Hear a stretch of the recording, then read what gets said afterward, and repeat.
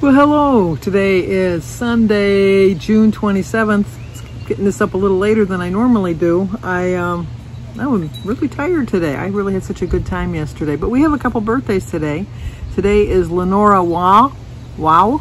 W-A-U-G-H. Waugh. Lenora, you know you're going to get a song. Happy birthday to you. Happy birthday to you.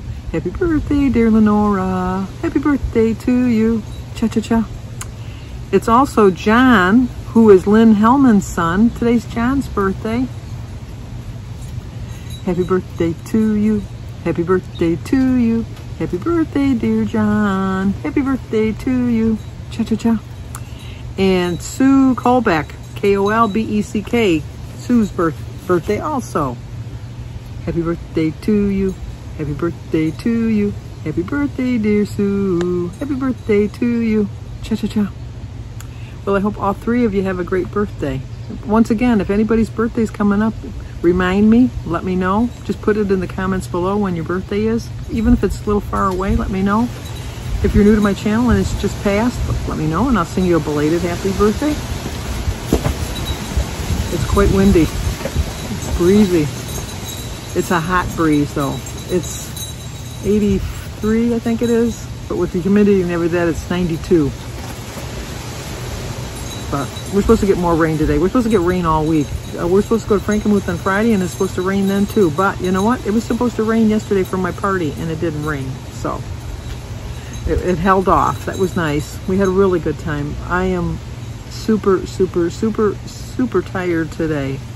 Um, I didn't sleep really well last night. I think because I was so wound up. It was just the excitement of the day, being with people that I haven't seen. Like my one friends. We haven't been together for our couples dinner since December of 2019.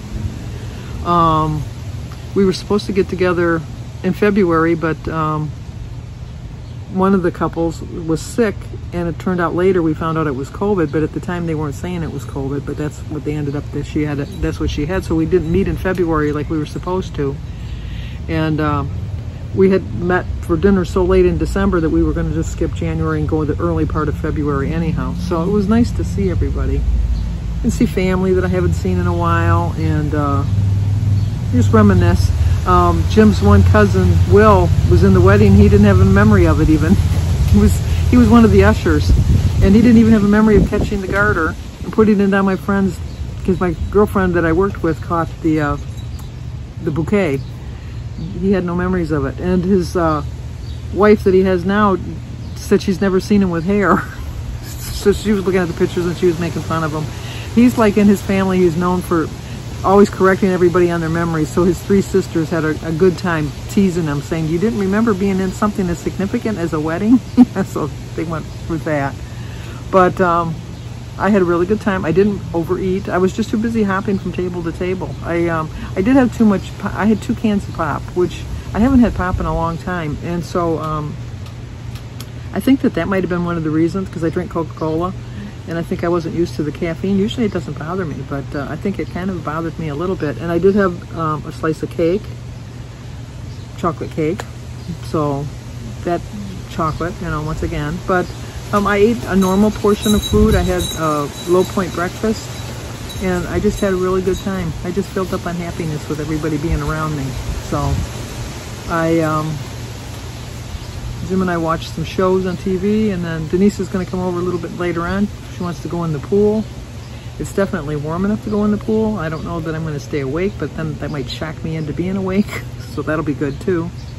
But I haven't been in the pool yet this year, and today is definitely a warm enough day to go in, even with the breeze. It's, uh, like I said, it's very windy, but that's because of the storms, because all the leaves are turned inwards, which from my Girl Scout days I remember that means that there's a storm a coming, which we do have rain predicted for today.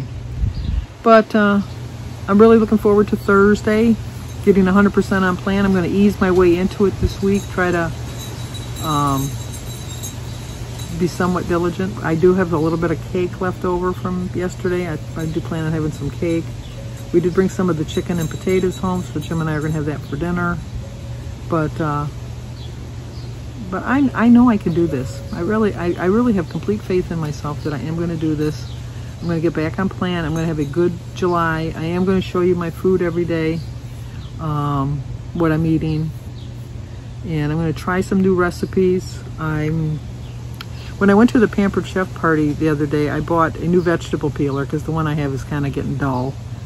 And then I bought, they had a set of three of the um, silicone spatulas, which I like, three different sizes. And so I bought a set of those. And then I was pretty much done. That's all I was going to buy. And then she demonstrated. as soon as they tell you they're demonstrating something, then you got to really worry. But it was really cool because it was like the slicer that you could slice like potatoes and carrots and stuff. And like you can julienne the, the potatoes or you can make them into french fries or, you know, chunks and uh, potato chips. You know, you can get them thin enough for potato chips.